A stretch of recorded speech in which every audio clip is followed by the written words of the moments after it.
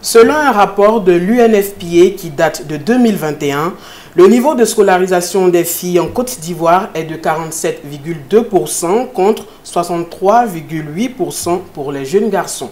Pour ce nouveau numéro de C'est-à-dire, nous recevons Nabema Kadisila, présidente de l'ONG Femmes d'aujourd'hui.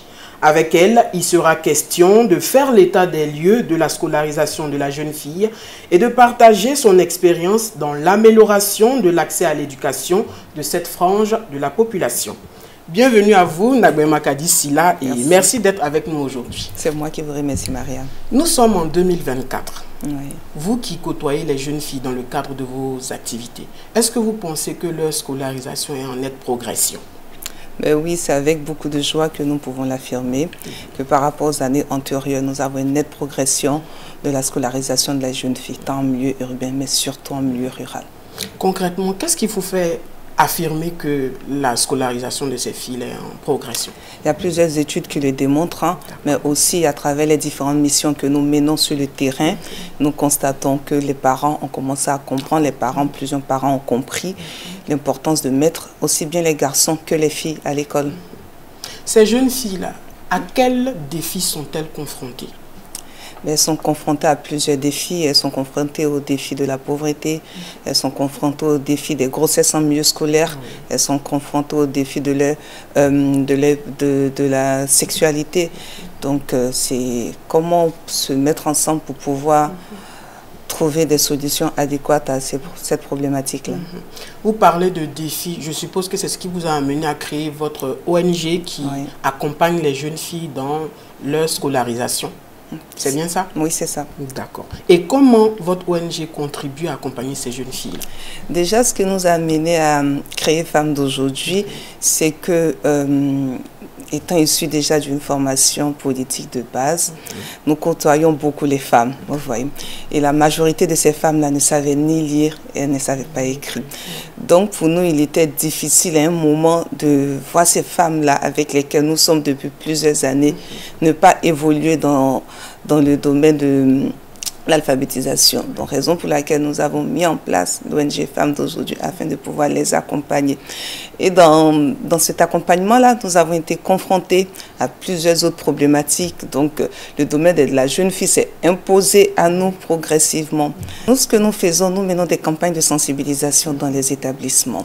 Au-delà des campagnes de sensibilisation, nous avons mis en place la première maison d'aide à l'éducation et à l'épanouissement de la jeune fille. Donc, cette maison-là prend en charge les filles issus des familles en situation vraiment de précarité, les filles aussi qui sont orientées dans, des établissements alors qu'elles ont des parents qui habitent très loin, ou des filles même qui sont en cours de sortie du système scolaire euh, dû à certaines difficultés. Nous avons aussi des filles qui sont agressées vraiment qui sont, ouais, qui sont agressées sexuellement, donc qui sont obligées après de sortir de mhm. leur foyer euh, de la maison que nous récupérons aussi ces filles-là. Donc cette maison-là, ces filles sont encadrées, elles sont formées à des activités génératrices de revenus, mais elles sont accompagnées aussi psychologiquement. Cette maison est située dans quelle localité, dans quelle ville? Elle est à Boaké. Pourquoi avoir choisi Boaké? Ben, Déjà, moi je suis native de Boaké. D'accord. Et la deuxième raison, Boaké est la deuxième ville de la Côte d'Ivoire. Et Boaké aussi est impacté par le fléau des grossesses en milieu scolaire. Donc pour nous, il était important d'aller vers Boaké qui commence à faire peau neuve et accompagner ces jeunes filles-là. Et à partir de l'expérience de Boaké, nous déployer dans différentes régions et communes de la Côte d'Ivoire. Combien de filles vous accueillez dans, cette maison? 25 filles pour cette première phase. 25 filles pour cette première phase. On parle de filles. Quelles sont concrètement vos cibles Les filles scolarisées, les filles non scolarisées, concrètement c'est quoi? Ben, Les deux. D'accord. Les deux sont aussi pour les filles scolarisées, je viens de vous dire ce que nous mhm. faisons pour eux. Et pour les filles déscolarisées, nous avons mis en place le premier manuel d'alphabétisation 100% femmes pour apprendre ces filles-là à apprendre à lire. Et maintenant, celles qui ont entamé un cursus scolaire mais qui l'ont arrêté aussi en cours de route, avec les ministères de l'éducation, mais aussi de la jeunesse, nous voyons comment est-ce que ces jeunes filles-là peuvent être recadrées à travers des centres de formation pour qu'elles puissent apprendre un métier et euh, acquérir leur autonomisation. Est-ce que vous travaillez de concert avec euh, des ministères, notamment le ministère de l'Éducation nationale? Oui, le ministère de l'Éducation nationale, à qui nous disons merci à Madame la ministre Maria Toukone, professeur Maria Toukone, mhm. le ministère de la Jeunesse à travers le ministre Touré Mamadou, un grand merci, mais aussi le ministère de la Femme, mhm. de la Famille et de l'Enfant. Mhm. Comment mesurez-vous l'impact de votre travail sur le terrain?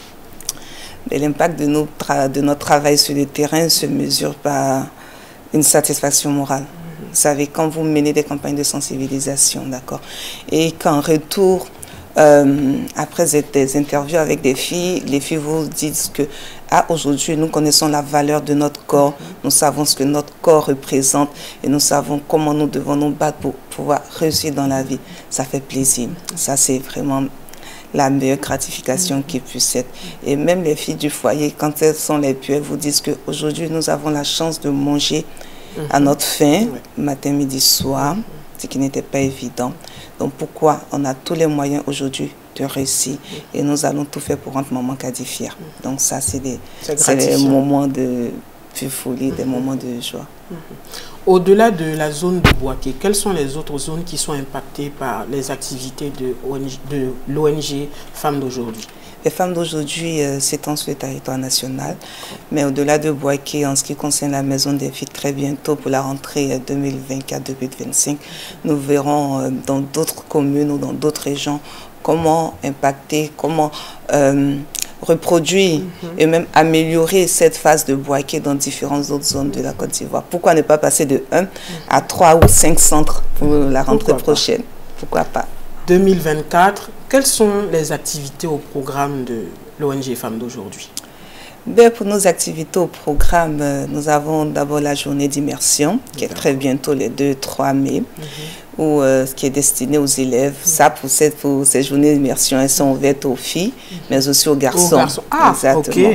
Donc, on est dans l'éducation, donc on est dans l'équité du genre. Mhm. Donc, euh, sur cette journée d'immersion, il s'agit d'investir dans la réalisation du potentiel de la jeunesse dès les années collège, permettre à cette jeunesse-là de pouvoir côtoyer leur métier d'avenir, mhm. connaître leur métier, la problématique de leur métier, mhm. et puis surtout échanger avec des professionnels comme vous dans les métiers de la communication. Et pourquoi pas ne pas accueillir ces jeunes-là un jour sur votre plateau et puis euh, partager avec un programme alléchant. vos expériences. Mhm. Des objectifs à long terme? Oui, bien sûr, nous avons des objectifs à long terme. Déjà, euh, pour nous, c'est d'éradiquer le fléau des grossesses en milieu scolaire. Vous pensez que c'est possible? Oui, c'est possible. Nous avons la volonté politique qui accompagne. Mhm. Nous avons des ministères qui travaillent de jour comme de nuit. Et nous sommes là en tant qu'organisation sur le terrain. Donc je pense que c'est possible. Il suffit de se donner les moyens. Mais c'est possible d'avoir zéro grossesse en milieu scolaire. Parce que quand une jeune fille est impactée par les grossesses en milieu scolaire, son année scolaire est annulée. Par contre, le, le, jeune garçon, lui, continue d'aller à l'école où, euh, peu importe l'auteur de la grossesse, lui continue ses activités. Mais la personne impactée est la jeune fille. Donc, elle perd en premier lieu son année scolaire. Au-delà de ça, elle est souvent chassée du domicile familial. Elle se retrouve à la rue face à tous les dangers. Et l'enfant qui vient au monde n'est s'il n'est pas pris en charge par les centres de santé. En fait, il y a tellement de, il y a tellement de, comment dire, il y a tellement de conséquences liées à, à ça qu'il faut l'arrêter depuis l'embryon.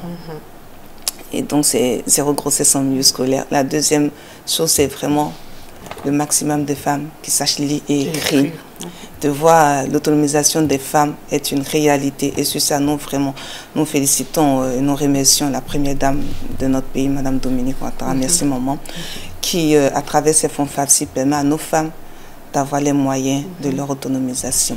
Mais perpétue encore plus d'activités, former ces femmes, former les femmes. Parce que, comme on le dit, la formation est la base de toute bonne réalisation. Mhm. Quand on a la bonne formation, on sait où on va. Mais quand vous n'êtes pas formé, quand on vous donne de l'argent pour travailler, cet argent-là, vous allez le prendre acheter des mhm. bijoux, vous allez le prendre acheter des beaux pagnes et vous allez le prendre faire d'autres choses. Alors que quand vous avez la formation du remboursement, quand vous avez la formation de votre métier même que vous menez, vous savez que cet argent-là vous a servi aujourd'hui, mais demain, cet argent pourra servir à une autre de votre sœur. Donc, formez les femmes. Mhm. Former les femmes est une réalité vous êtes en contact avec les jeunes filles au quotidien. Quelles recommandations vous pouvez donner pour améliorer la scolarisation de ces jeunes filles-là en Côte d'Ivoire? Ben, Aux parents de ces filles, c'est de croire à la fille. La fille, elle a d'énormes potentialités. La fille, elle peut faire de belles choses, peut-être plus même que les garçons, pourquoi pas. Parce que quand on donne la place à une femme, elle sait la mettre en valeur. Donc de croire, de croire, de croire à la jeune fille. Ne baissons pas les bras, croyons en nos filles.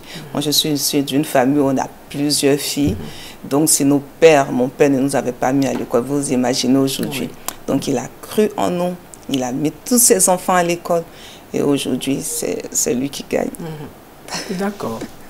Nous sommes euh, au thème de notre entretien. Merci à vous, Nagbema Kadisila, d'avoir accepté de vous prêter à nos questions.